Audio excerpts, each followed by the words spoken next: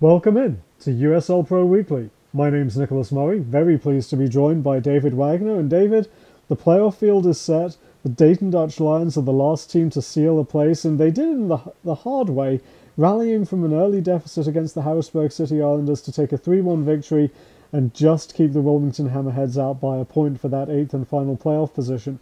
I was really impressed by Dayton. Uh, what was it that impressed you most about their performance, rallying back against one of the best road teams in USL Pro? Yeah, obviously to get punched in the face early like that, go down uh, quickly. Uh, what impressed me is that some of the same guys that have stepped up all year did it again for them this weekend.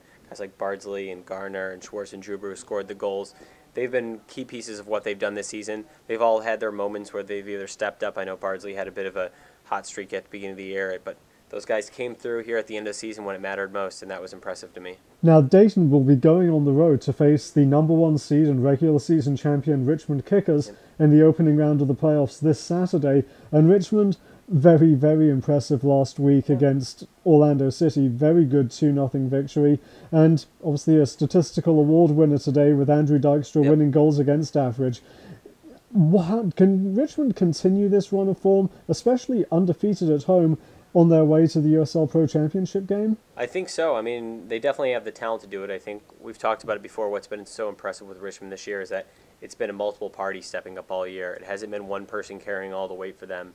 Um, so that's just been consistently the theme, and you saw it again the other day. You saw Delicâte, who's arguably, you know, he's a USL legend. He's been in the league for so long. Uh, step up, score the goals there the other day, got him the win.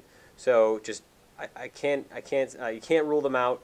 I can't uh, rule out the possibility of them just running the table going through as well. They've just been so consistent, solid in the back, just great performances. They had just one hiccup all season, really. And we've got four games this Saturday, starting off with Harrisburg against Charlotte at 2 p.m. Eastern Time, and then three games in the evening.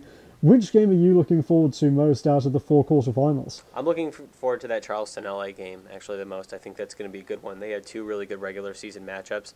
Uh, I think they're two interesting teams. For me, you have Charleston obviously coming back, trying to begin their defense of the title. Um, a little bit squad, different squad from last year, which won the title, but still some of the same pieces in place. They've played some good soccer this year, but I haven't felt like they've consistently broken out of their shell and really uh, lived up to all the potential. But they've been playing better as of late, and uh, I think that the playoff time is when they're looking to turn it on. For LA, you know how great they've been all season.